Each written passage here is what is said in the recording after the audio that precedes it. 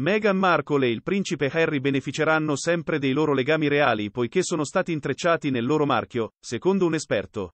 Meghan e il principe Harry non possono cancellare i loro legami con la famiglia reale a causa della loro storia e del loro DNA, secondo l'esperto di gestione del marchio e della reputazione Eric Schiffer.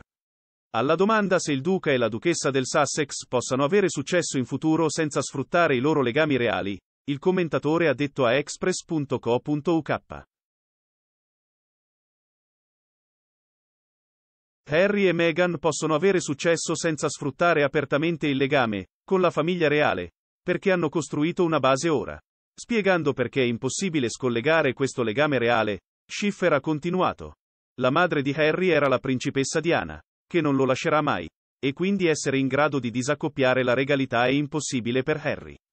Quindi a un certo livello, grande o piccolo che sia, trarrà sempre beneficio dall'enorme potere che proviene dalla corona e da Diana. È impossibile disconnettere i due oggi. Meghan e il principe Harry si sono ufficialmente dimessi da reali senior alla fine di marzo 2020. Due mesi dopo aver annunciato la loro intenzione di creare un nuovo ruolo progressivo per se stessi all'interno dello studio.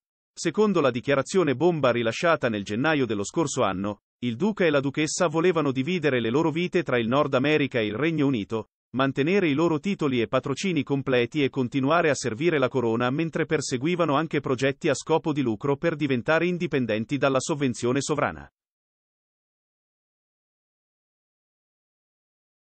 Tuttavia, i loro piani sono stati infranti in seguito agli incontri tra i reali e Meghan e Harry alla fine si sono dimessi rinunciando a utilizzare i loro stili di Sua Altezza Reale, svolgere l'impegno reale e mantenere le loro associazioni reali e militari.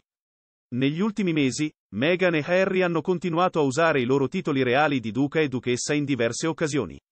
Più di recente, Meghan ha debuttato come autrice di libri per bambini con il racconto The Bench.